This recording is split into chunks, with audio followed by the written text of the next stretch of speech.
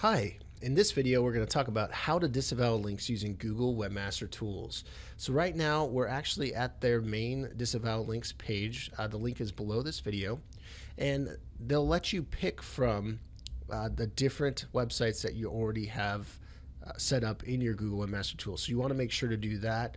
Uh, if you haven't done that yet, you might want to watch another video beforehand. But so since this is actually a, a, a website that we have in our Google Webmaster Tools, um, and you click on the link below the video, you'll come here, select the one you want. I'm going to click disavow links.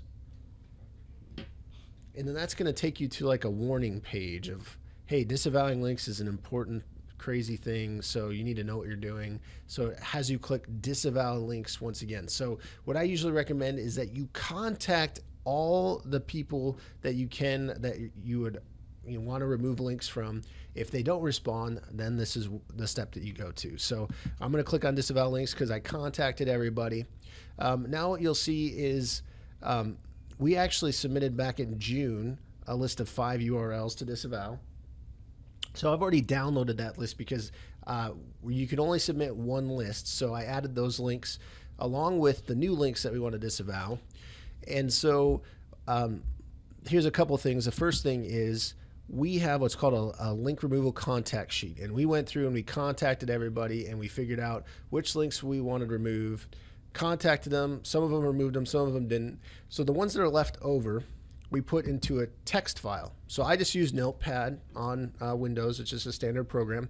And I copied and pasted all of the links individually into the Notepad. And then I'm going to save it um, for our purposes. I'm just going to save it as the client's uh, name plus disavow.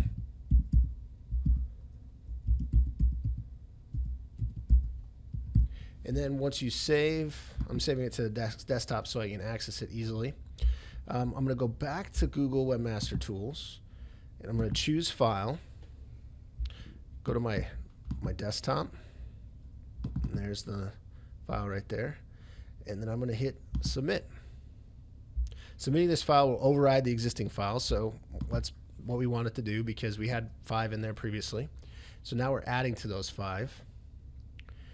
And now it's saying we've submitted 16. So we had 11 URLs that we just added plus the five at 16. And so now I just click done. And we have successfully uh, told Google, please disavow these links.